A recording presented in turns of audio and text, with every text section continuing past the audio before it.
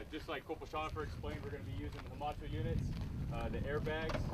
A patient is now stuck right here underneath this car, so he's not able to get out, and then the patient inside is not able to open any of the doors from the inside, so we'll have to open the doors for him. So this car, it still has inflated tires, so we're going to demonstrate deflating them by putting cribbing underneath, and we're going to just puncture the tire.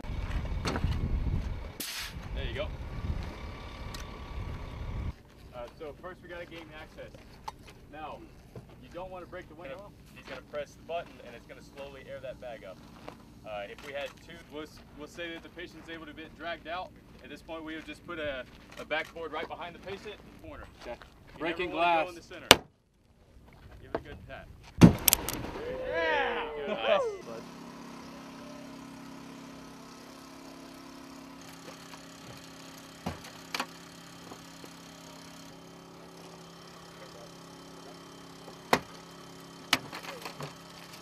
Let the tool do the work. Try it the That tool can overpower.